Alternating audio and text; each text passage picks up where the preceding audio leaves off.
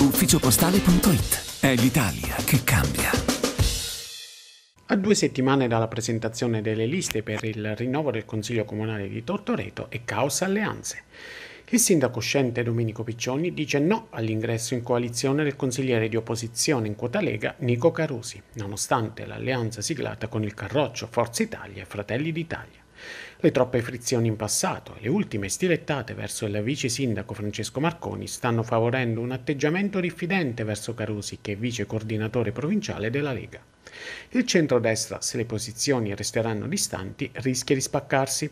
A Tortoreto, nell'area azzurra, il quadro è più complicato che altrove. Già perché, non va dimenticato, Tortoreto esprime un parlamentare della Repubblica, Antonio Zennaro della Lega, con Salvini, e non può permettersi l'onorevole, per prassi, accordo e protocollo, che il centrodestra vada spaccato alle elezioni. Il patto di alleanza sancito mesi fa, proprio in vista dell'appuntamento amministrativo con Zennaro ed il centrodestra, tutto a sostegno sostegno di Piccioni non può essere rimangiato e se questo dovesse accadere, ossia lo stop all'accordo con la lista civica di Piccioni, il centrodestra potrebbe correre da solo, con Carusi in lista, se non addirittura candidato sindaco. E che fine farebbero Massimo Figliola e Giorgio Ripani, esponenti tesserati di Fratelli d'Italia, in consiglio? Continuerebbero a restare con Piccioni o, tenendo fede alle indicazioni di partito, eventualmente ciò accadesse, a passare nella lista di Carusi? Le cose non vanno meglio nel listone antipiccioni finito a Brandelli.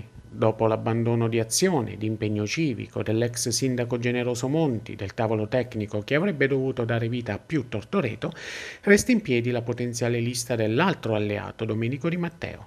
La sua obiettivo Tortoreto, oggi all'opposizione, è nella condizione di scendere in campo con un candidato sindaco, però ancora da definire, ma che potrebbe coincidere con la figura dello stesso Di Matteo che potrebbe imbarcare anche il pentastellato Riccardo Straccialini.